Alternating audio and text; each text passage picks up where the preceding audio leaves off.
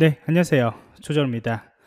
어, 강의에 앞서서 여러분들한테 너무나 감사하다는 말씀 한마디 좀 드리고 싶습니다. 제가 유튜브에다가 이제 노션을 이렇게 시리즈를 계속 공개를 했더니 어, 강의할 수 있는 기회도 생겼고요. 그 다음에 이제 뭐 출판사에도 연락 오고 좀 그러고 있습니다.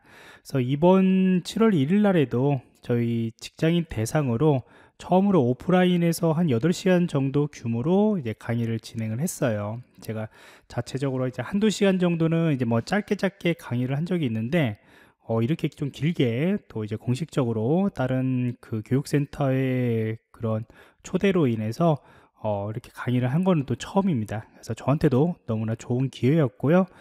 또 그 강의 때문에 어, 제 컨텐츠가 어, 저도 어, 강화를 좀 시켰을 수 있던 예, 그런 기회였던 것 같습니다. 그래서 이거는 이제 이전에 제가 어, 그 커뮤니티 쪽에다가 공개를 했었죠. 노션 입문부터 활용까지 이런 학습 페이지에 대해서 공유를 했는데 강의가 끝나는과 동시에 예, 많은 양들을 제가 업데이트를 했습니다. 그리고 계속 정기적으로 이 페이지는 업데이트를 하기 때문에 여러분들이 노션을 만약 공부를 처음부터 한다라고 한다면은 요 글들을 보시면서 공부를 하시면 될 것 같습니다. 자, 그러면 이제 본격적으로 또 강의 어, 진행을 할 것이고요. 제 쪽에 지금 현재 노션으로 만든 위키 페이지 같은 거를 한번 좀 보시면 이렇게 히츠라고 있습니다. 이렇게 방문자를 표시하는 어, 이렇게 그림으로 예, 들어가 있는데요. 현재 보시면 956이면 이것도 이제 크적게 제가 다뤘어요. 예, 강의하기 전에 다뤘고 이래서 요거는 전체 이제 방문자 수이죠.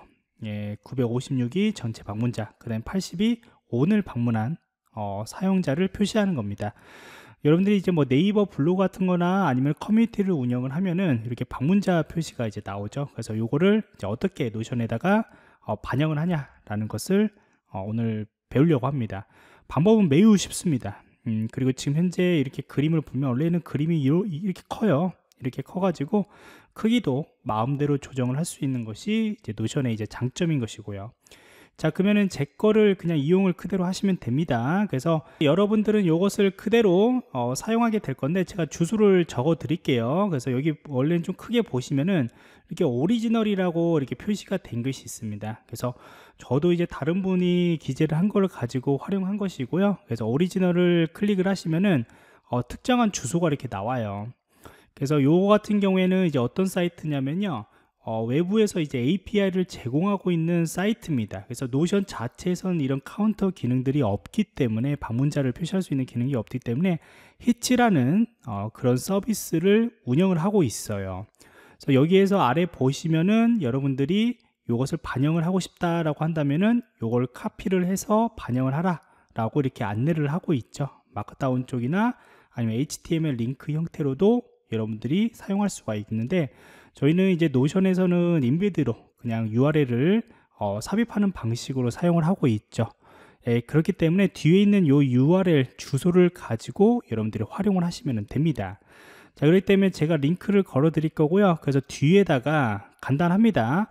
우선은 첫 번째는 여러분들이 요것을 카운터를 삽입할 곳은 꼭 공개 페이지가 되어 합니다. 그래 여기에서도 접근이 가능하겠죠 그래서 뒤쪽에 보시면은 이렇게 URL 주소가 있어요.